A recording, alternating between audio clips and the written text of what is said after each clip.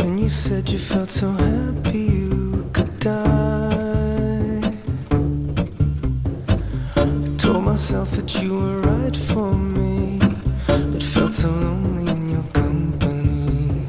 But that was love, and to make us still remember.